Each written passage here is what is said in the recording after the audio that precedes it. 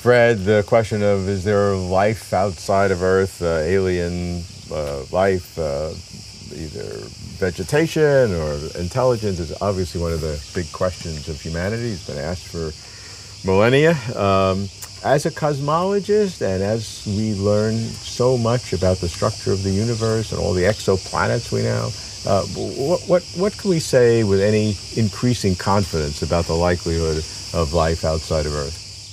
Well, the last couple decades have shown us a wealth of new information about the planet part of that question. So we now know that there are many Earth-sized planets. We know that there are many planets in general, and we know that many of those planets are in the right place in their solar system to have liquid water on the surface, if there's liquid water. Mm. So the astronomical part of the equation is actually very well in hand. We know there's lots of planets. We know there's lots of environment that could harbor liquid water and are the right size and so on. So that part's good. The next step is to see whether or not there's enough water that can be delivered to these so-called habitable planets. And that's actually an accessible question. The next step after that is to actually understand how is that accessible? Let's start with that. Oh, well, because in the relatively near future, not next year, but maybe next decade, and that's optimistic, we'll be able to see probes of atmospheres of planets and other solar systems. Oh. Remarkably, we can already do that for a couple hot Jupiters. These are big Jovian mass planets close to their stars.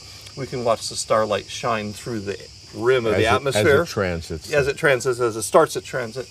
And we can get at this point very limited, but some information about what the atmosphere is like. As we go further, we will be able to do that better for Jovian planets, and the ultimate goal is to do it for more rocky Earth-like planets. And if we can do that, we can see the atmospheric content. There are certain signatures that might indicate life.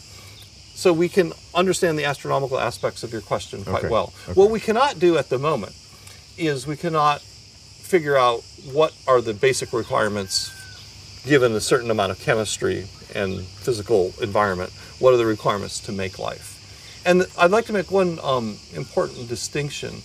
In the physical world, for the kinds of things like stars and planets, we have equations. We know the equations of stellar structure, and we even know how to solve them. We can solve them with better, better accuracy, but we know where to start. If you're asking, how do I build an organism? how do I build an ant? We do not have equations for an ant. And that's a key difference between doing astrophysical things and doing biological things. Okay, um, and so uh, let's let's divide the question of life in the cosmos into two parts. Then one are the physical parameters, uh, and I think what we're saying that over these uh, last decades, where cosmology has become more a precision science, remarkably. Yeah, not just cosmology, but all of astronomy. All I of think. astronomy. Yeah. Fair. Uh, that the likelihood of there being the conditions that life had ha- have have gone up. Yes, and we were hoping that would be the case, and now we can actually argue from data that that is the case. Right. And, but the next part of the question is from the, the raw chemical materials, even water. Yeah. Uh, what are the biological processes which life first ar- arises and then evolves? Those are to- a total different order of magnitude of kinds of questions. Yeah, they're an order of magnitude or Bohr harder. Yeah.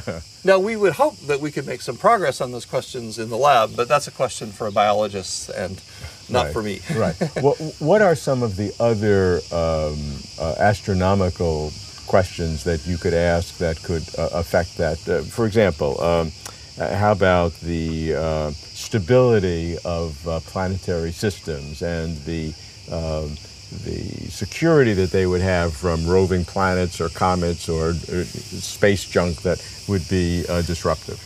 Okay, so many many researchers are studying that question, namely how do dynamical events, passing stars, planets within the solar system, debris within the solar system, debris from outside the solar system, gamma ray bursts from outside the solar system, all of those di- disruptive events, people are studying how they can impact planets.